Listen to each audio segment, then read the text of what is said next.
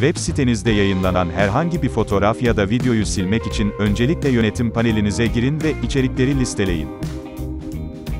Silmek istediğiniz görselin yayınlandığı içeriği bulun ve sağ tarafında yer alan düzenle simgesine tıklayın. Açılan sayfanın üstünde bulunan fotoğraf ve videolar sekmesine tıklayın.